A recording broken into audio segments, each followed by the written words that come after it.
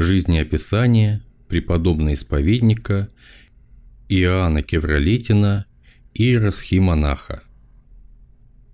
Преподобный исповедник Иоанн родился 23 мая 1875 года в деревне Кулакова Троицкого уезда Тобольской губернии в семье крестьянина Афанасия Кевролетина. Образование получил дома. В 1894 году он поступил послушником в Кыртомский крестовоздвиженский монастырь в Ирбитском уезде Пермской губернии. Монастырь был основан в 1878 году и находился в 110 верстах от Ирбита и в 60 верстах от Алапаевска на берегу реки Кыртомки. Когда-то здесь были дремучие леса и непроходимые болота. Основателем обители был инок Андриан, в миру Андрей Медведев.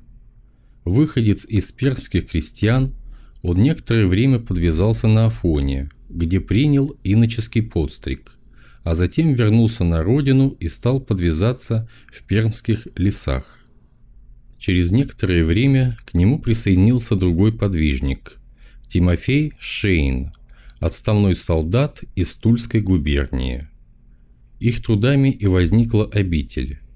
В 1891 году она получила от Святейшего Синода официальное признание.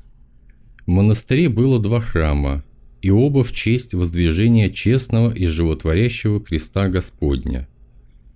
В начале 20 века в монастыре было около 80 человек братья.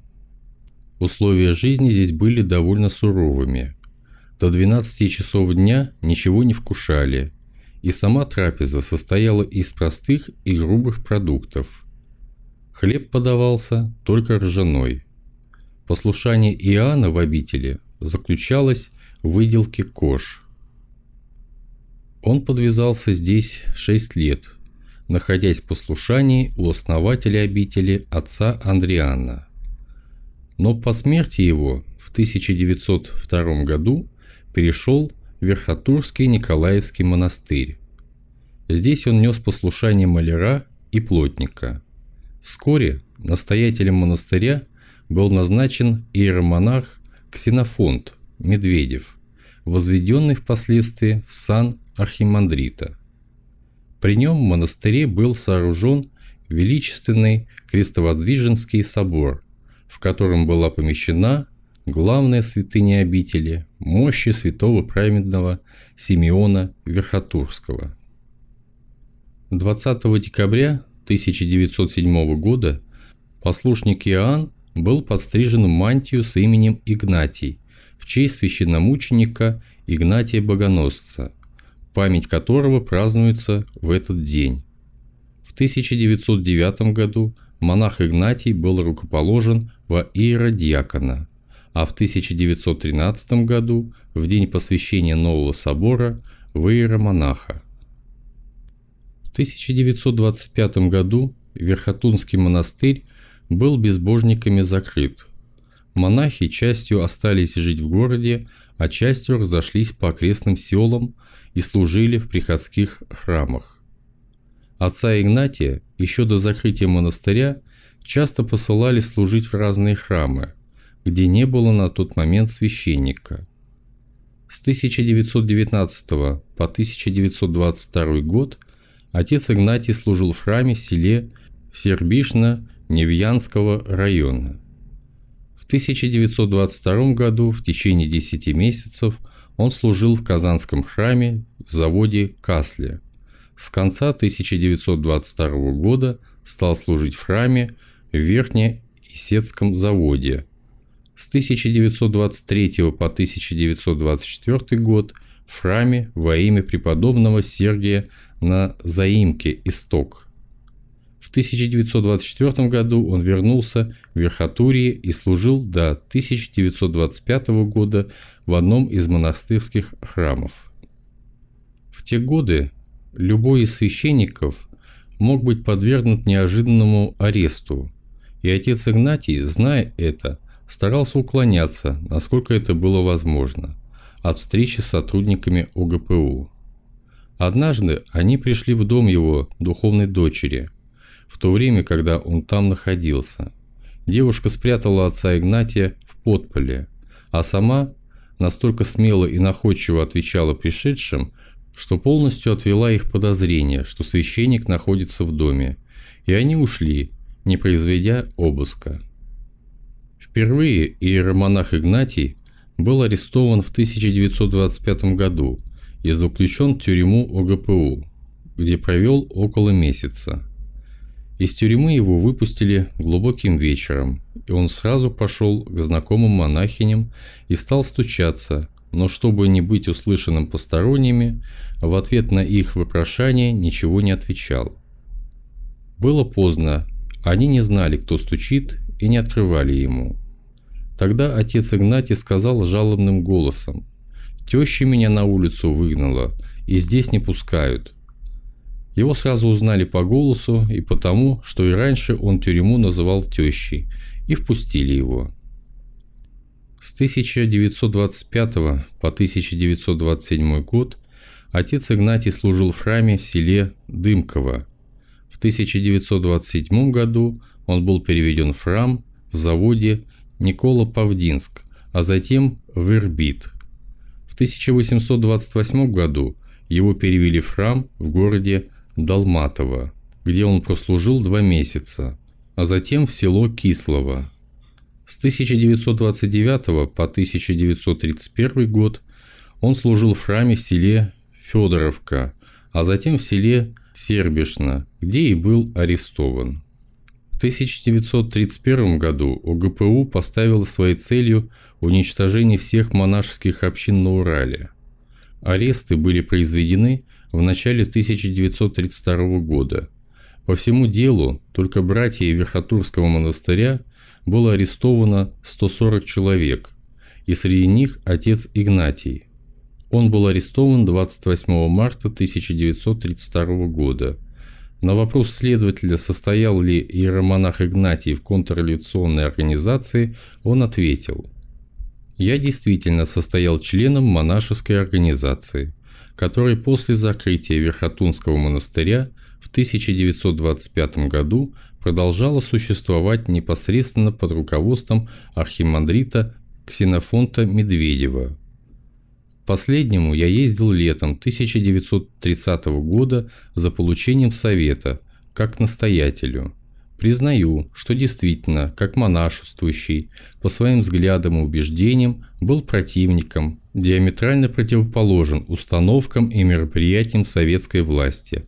Иначе не могло быть. Если разделять полностью взгляды советской власти, значит нужно перестать быть монахом. Быть монахом значит быть врагом советской власти и партии. Для меня монашество было важнее советской власти – и я, естественно, был и являюсь врагом последней, но контрреволюционной работы не проводил.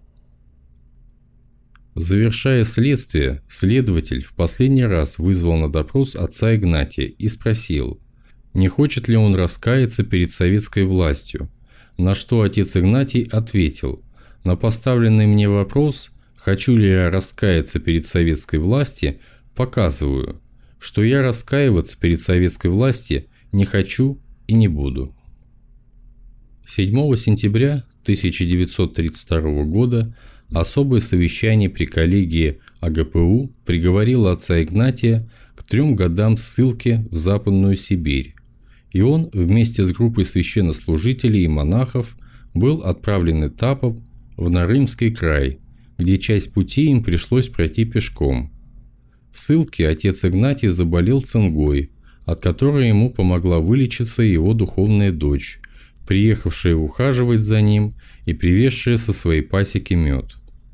Возвращаясь домой по окончании срока ссылки, отец Игнатий оказался в одном вагоне с уголовниками. Чтобы не привлекать к себе внимания, он стал принимать участие в разговорах и даже вертел на руках папироску – изображая, что собирается закурить, и таким образом благополучно доехал до Екатеринбурга. Но здесь силы оставили его, и едва добрался до квартиры духовной дочери и на ее пороге упал. В Екатеринбурге, как и во многих других крупных городах, ему было жить запрещено, и он поселился в маленьком ветхом домике на окраине Верхотурья. Место было глухое, и отца Игнатия стали беспокоить здесь хулиганы. Но некий раб Божий по имени Михаил, который работал зубным врачом и был подстрижен монашества, дал денег на покупку нового дома, расположенного неподалеку от Верхотурского монастыря. Так что отсюда хорошо был виден величественный крестовоздвиженский собор. Сюда отец Игнатий переехал вместе с помогавшими ему по хозяйству келейницами, схемонахиней Евдокией и монахиней Симеонией. Наступил новый период в жизни подвижника, когда он стал скрываться от мира за внешней формой и родства. Одеваться стал светскую одежду, иногда и женскую, так что бывало, что его не узнавали и хорошо его знавшие. Некоторое время он пас на окраине города коз и был любимцем всех окрестных мальчишек, которые тесным кружком собирались вокруг него, с упоением слушая его рассказы. У отца Игнатия осталось много духовных детей, и он, навещая их, совершал в их домах таинства. Когда состояние здоровья не позволяло покидать дом, он принимал духовных детей у себя в келье. Здесь отец Игнатий вместе со своими келейницами вычитывал весь богослужебный круг. Об этом периоде жизни подвижника сохранились воспоминания людей, его знавших. Один из священников рассказывал, «У меня в памяти отец Игнатий остался человеком находчивым, неунывающим. Он слегка еродствовал, искал повода, чтобы его осудили, посмеялись над ним. Однажды пришел в Ивановскую церковь на Пасху. В середине службы заходит и говорит «Проспал я службу, только что пришел». Удивились, конечно, посмеялись. Дома у себя тоже чудил. В женский халат оделся, на голове скуфейка, как у звездочета, на бок надета, по сторонам два пучка волос торчат, шея голая, это он вышел умыться. Келеницам его большое терпение требовалось, чтобы его причуды выносить. Они только начнут что-нибудь варить, он выйдет на кухню, кастрюлю перевернет или огонь водой зальет, а потом быстро к себе в келейку, в одеяло завернется и лежит тихонько. Любил своих чад называть страшилищами, службы совершал в крохотной своей келье. Про кровать свою говорил, что кто на нее ляжет, тот получит исцеление. И я действительно это на себе испытал. Духовная дочь отца Игнатия рассказывала. Я жила в Верхотурье, работала в швейной мастерской, а к отцу Игнатию ходила благословляться. На работе у меня не ладилось, машина ломалась, ничего не получалось. Отец Игнатий надо мной посмеивался. Ну вот, шила да порошила, шила да порошила. Но однажды сказал, ты правильному Симеону молишься? А ведь он был портной. Вот и проси, чтобы он тебе помог. Своими словами проси. Я стала молиться и просить правильного Симеона о помощи. И стало лучше получаться в работе. Сложные заказы стали давать. Лучше тех получалось, кто раньше меня начал работать. Но огорчений всегда было много. Бывало, бегу с работы к батюшке, и пока бегу, на душе посветлеет. Прихожу, благословите, батюшка. Сейчас сколько хотела вам рассказать, да все забылось. А он отвечает, а ты рассказала, я слышал. Вот про это и про это. И правда, я об этом думала, когда к нему шла. Кто-то велел мне поленницу складывать. Я складывала, складывала. Вот готова поленница. А он подошел, палочкой толкнул, и она рассыпалась. Мне обидно, а батюшка меня же и ругает. Какая же бестолочь, поленницу сложить не можешь. В другой раз я в огороде грядки копала, борозды делала, а он стоит рядом и ругает. Какая же ты бестолковая, землю копать не умеешь, Положи-ка палку, видишь, неровно. Я равняю, равняю, он опять. Ты видишь, там дыра, там дыра. Я обиделась, ушла. Потом вернулась. Батюшка, простите, благословите. Он радостно, сияющий, благословил меня, и я как на крыльях весь день. Однажды оделся странником, пришел к одним матушкам, стучит, просит милостыню, а они говорят, нет ничего, а он все стучит, стучит по железке. Они говорят, какой нищий, надо посмотреть, не утащит ли чего. Подошли ближе и узнали, это же отец Игнатий. «Батюшка, заходи». А он отвечает, «А, узнали, так заходи». «Да не пойду я». И ушел. Жительница Верхотурья рассказывала. Один раз дали ему мороз валенки. Он их стал надевать и говорит, «А что, в чужих-то тепло». Женщина сказала, смутившись, «Простите, батюшка, и вправду чужие». Приехал он как-то в одно село и пришел в избу к знакомым. Хозяйка стала его кормить, подала хлеб и похлебку, а пироги утаила. И принялся он есть и приговаривать. Сами пироги едят, а меня похлебкой кормят. Батюшка учил нас молиться со вниманием. Посещению службы церковной он сам относился строго и нас тому же учил. Однако мы во время службы собрались огород копать. Пришли благословиться, а он говорит, а на службу кто пойдет? В последние годы отец Игнатий тяжело болел и незадолго до смерти был подстрижен в схиму с именем Иоанн. Духовная дочь его рассказывала. Я сижу в уголочке, плачу и прошу Царицу Небесную, чтобы взяла нашего батюшку к себе. А он говорит, смотрите, она молится, чтобы я умер. Он любил пошутить. Как-то пришли женщины и спрашивают, тяжело лежать, батюшка? А он говорит, так не буду лежать, меня дрова колоть заставит. В день его смерти пришло много народу и спрашивают, батюшка, читать канон на исход души?